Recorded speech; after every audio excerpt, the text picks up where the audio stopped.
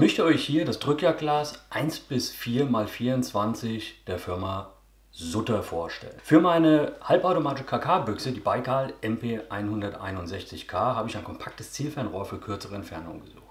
Ich nutze diese Waffe ja primär für dynamisches Disziplin, für Plinken und da brauche ich jetzt nicht unbedingt die Präzision auf 50 Meter, also reichen mir kürzere Entfernungen. Da eine KK-Büchse einen eher geringen Rückstoß aufweist und auch der Prellschlag des Verschlusses der Selbstladebüchse eher gering ist, habe ich mich für ein günstigeres Glas entschieden.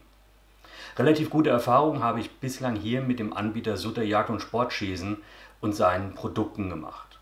Trotz einer UVP von 199 Euro steht das kompakte Drückjagdglas aus der Sutter Premium Serie derzeit zu einem Preis von 149 Euro zuzüglich Versandkosten im virtuellen Verkaufsregal. Diesen Preis habe ich zum Anlass genommen, das Glas zu bestellen und zu testen. Die technischen Daten gleich vorneweg.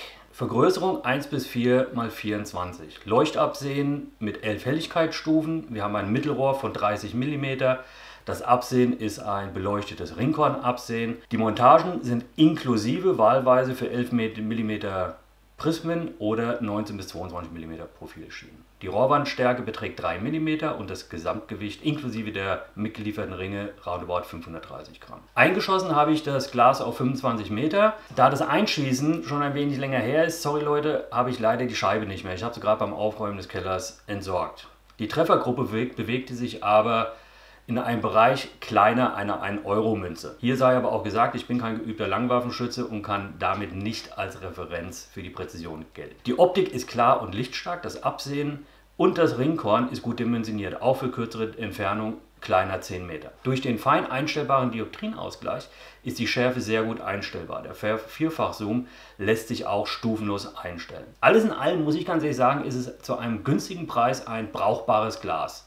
Wie bei vielen anderen Produkten auch, geht es immer höher, teurer weiter. Wenn man sich aber bewusst ist, dass wir hier nicht über ein Schmidt und Bender Zeiss oder wie auch immer sprechen, sondern über ein relativ günstiges Glas, dann muss ich ganz ehrlich sagen, ist das, was man hier für sein Geld bekommt, eigentlich in Ordnung, wenn ich jetzt nicht unbedingt die höchsten Ansprüche stelle. Wir haben hier oben den Turm für das Leuchtabsehen zum Einstellen in elf Helligkeitsstufen. Wir haben rechts und oben hinter einer entsprechenden Alukappe, die aufgeschraubt wird, haben wir die Höhen- und die Seitenverstellung. Die Klicks sind gut spürbar, könnten vielleicht ein bisschen strammer sein, aber ich sag mal für eine KK-Büchse absolut ausreichend.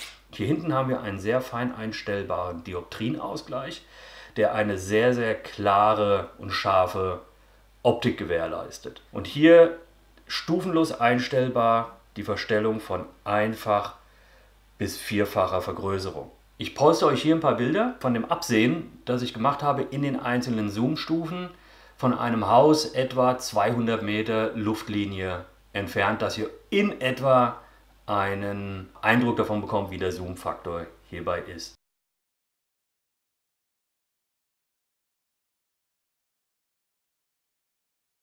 Alles in allem muss ich ganz ehrlich sagen, ich habe auf einem verhältnismäßig dunkel beleuchteten Stand das Glas eingeschossen, wie gesagt auf 25 Meter. Die Optik ist klar und deutlich, sie ist sehr lichtstark, ich konnte also problemlos auch auf diesem relativ dunklen Stand die Scheibe erkennen. Ich selber bin, wie auch bereits erwähnt, kein versierter Langwaffenschütze und kann somit äh, jetzt nicht unbedingt äh, für die tatsächliche Präzision sprechen.